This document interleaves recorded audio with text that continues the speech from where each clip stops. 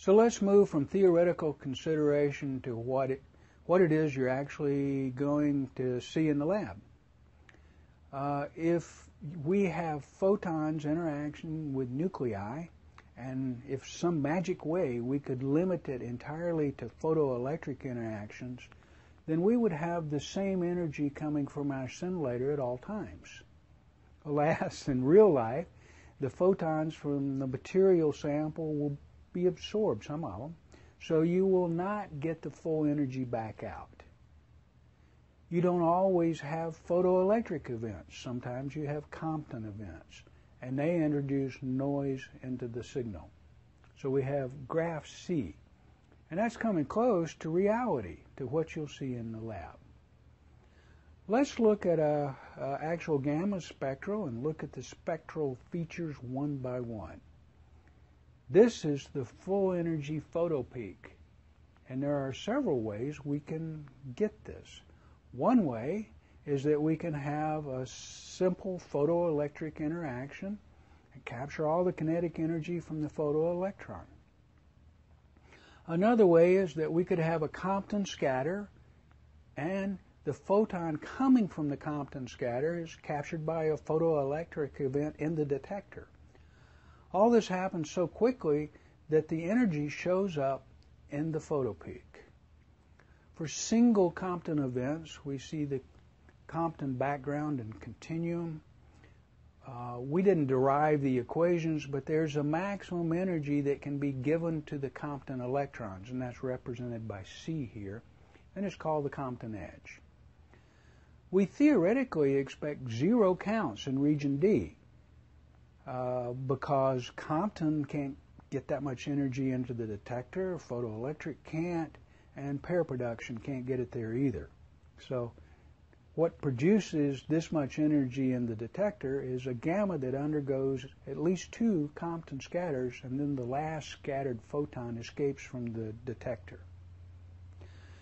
Here is a backscatter peak, which we'll talk about in a minute. F is way over there, is the uh, energy from higher energy gamma rays from background and G, over this way, is the electronic noise. We are amplifying things enough that the noise inherent in the electronics shows up at the low end of the spectrum. It also turns out that the size of the detector influences what we see as a signal coming from the detector. If we have a small detector, the photoelectric reactions will produce electrons, and almost always we will collect all of the electron energy because the range of electrons in solid is on the order of a few millimeters. For Compton interactions, it's a different story. We can presume here that almost all of the Compton scattered photons escape, so we gather no useful information from Compton interactions. For pair production, again, since we're assuming a small detector, we assume that the 511 gammas escape, and so that we end up with a double escape peak for those photons interacting in the detector that have more than 1.022 MeV. This double escape peak is set down from the gamma energy by 1.022 MeV. If we have a large detector, what a different story it is. Now we win at everything. As before, photoelectric events are captured.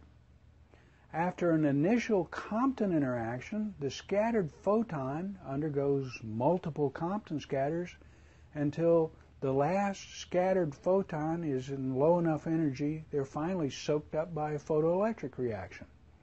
All of this happens so fast that this signal appears as a full energy peak. Pair production, it's the same game. A gamma has a pair production event and the 511 keV photons are both captured within the detector. And so everything shows up as a full energy peak. How come we don't make all of our detectors large? Because it's hideously expensive, that's why and there's some serious engineering and resolution problems as the detector gets large. In the real world, we live with neither the small size detector model nor the large size detector model, but somewhere in between. Almost always we capture the photoelectric events. We lose some of the scattered Compton gamma, but not all of them. In pair production, we sometimes lose one of the 511s. Sometimes we lose both. Sometimes we capture them both. This graph shows the resulting spectrum that is similar to what you'll see in the lab.